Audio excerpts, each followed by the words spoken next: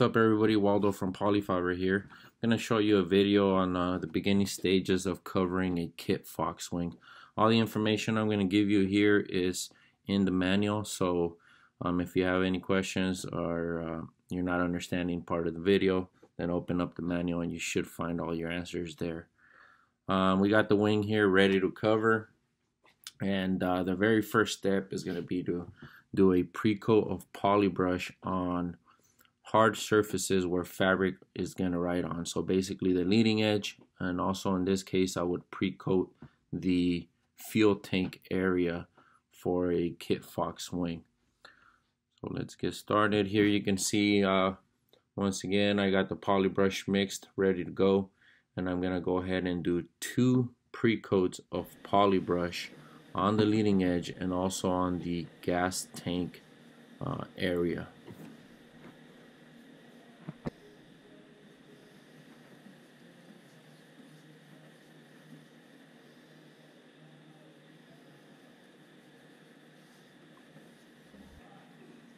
Once you're done with uh, the two pre-coats, then you want to completely let it dry, and then that's basically ready to cover. Now on a Kit Fox wing, the bottom of the wing is actually under cambered. Uh, so before we start covering, we want to take some Polytack straight out of the can, and you want to pre-coat the bottom of the ribs.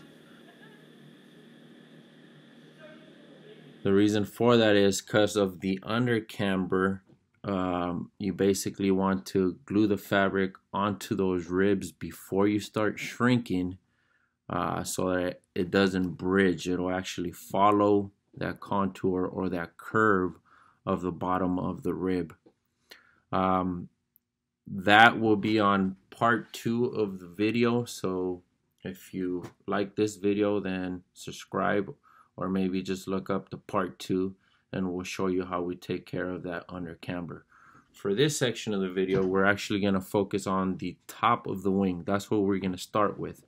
The reason for that is I always like to think of what I'm covering if it's a high wing airplane or a low wing airplane.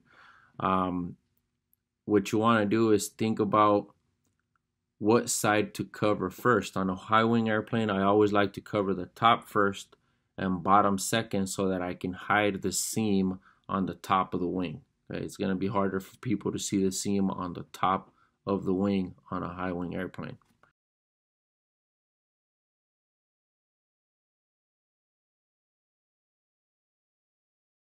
There is no right or wrong. You could leave the seam on the bottom, but it's just really a cosmetic thing. I like to hide it and make uh, make it look better by hiding the uh, overlap seam that you end up when you put fabric on fabric or glue fabric to fabric.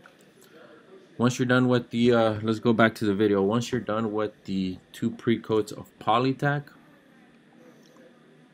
then you're basically ready to cover. Okay, you're gonna take your fabric, unroll it,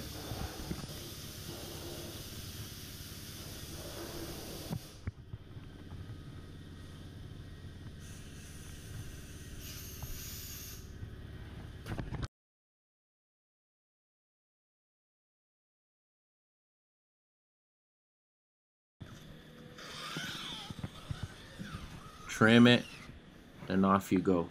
Okay. Usually I start to uh, cover on the trailing edge just because you have a straight shot. Kit Fox wing, pretty simple to cover. There's no real curves or anything like that. So you start on the trailing edge. You apply the Polytack straight out of the can. You just do a section at a time because it dries pretty quick. You want to lay the glue and then lay the fabric onto wet glue.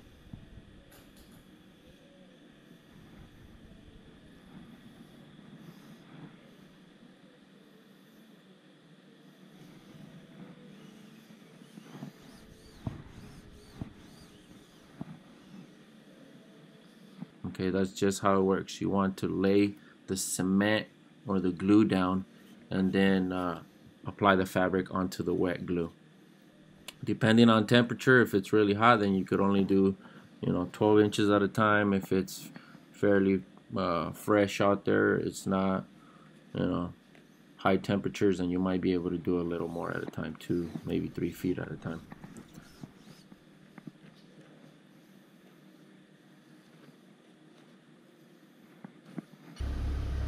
Once you have the trailing edge all done, then we're gonna go ahead and move to the leading edge. I kind of gauge how much fabric I'm gonna need for the leading edge and then if I have too much I can trim it. Just makes it easier to work with uh, when you have less fabric in the way.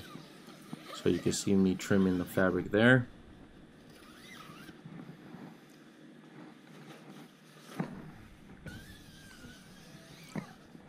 Once you have it all trimmed up then it's time to glue or cement the leading edge it's the same thing okay you're gonna apply the polytack and then lay the fabric into wet polytack. You want to try to keep it wrinkled free as much as possible. If you have some small wrinkles, not a big deal. You can always get them out with the iron later on down the road. But it's way easier if you do keep all the wrinkles out of it. Uh, it'll be less work and it'll look a lot better um, for the finishing product.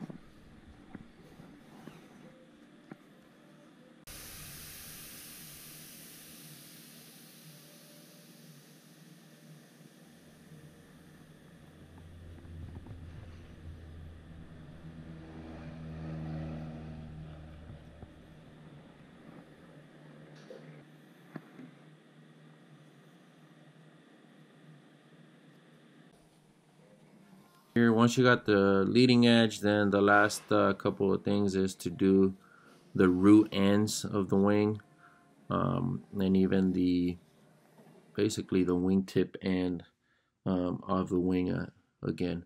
So you're gluing around the whole perimeter of the wing uh, with polytack cement. Then if you have anything that's uh, poking through, in this case we have the neck of the fuel tank, uh, you would want to draw a line.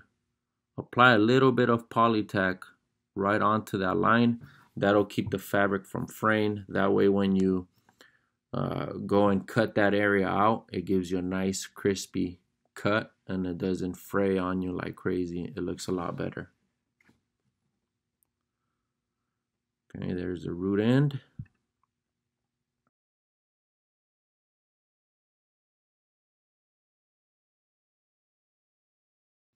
Once you got the whole perimeter glued in, then we'll flip the wing around, glue the rest of the leading edge. You'll do the same thing to the trailing edge.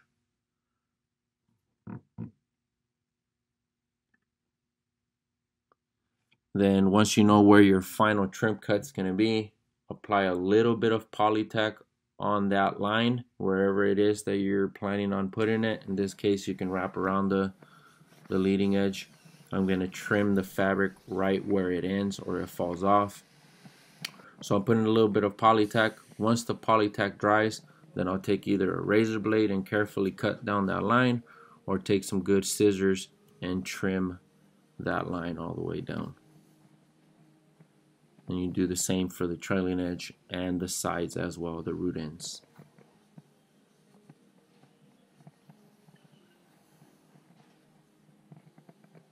That's going to be it for this video.